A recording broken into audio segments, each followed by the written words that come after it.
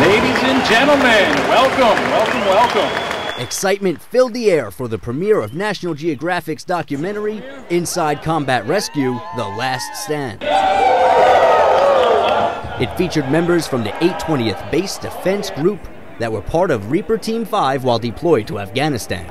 The spotlight on the mission has been considered to be a good thing. I'm very excited for our mission to be highlighted, especially uh, being an offender.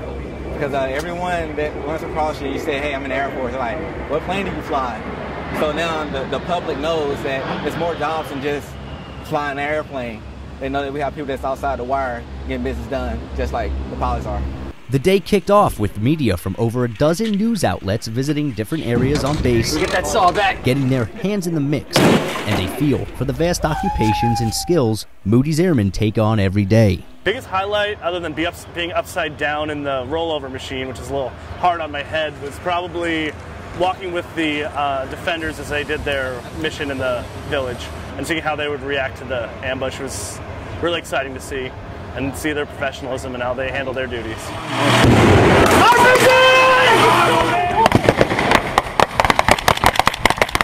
This is not the first time National Geographic Channel has worked with the brave men and women from Moody while they were deployed. They have built a relationship that has made working together quite enjoyable. You know, I've been at National Geographic for 10 years, and we've worked with many branches of the military, and, and the, the, the hospitality of Moody Air Force Base. Uh, I was super excited to come back again, and you guys just you treat us great, and we're super appreciative of letting us tag along with you in the field because I know it's dangerous, and then having us here today to share the film is awesome.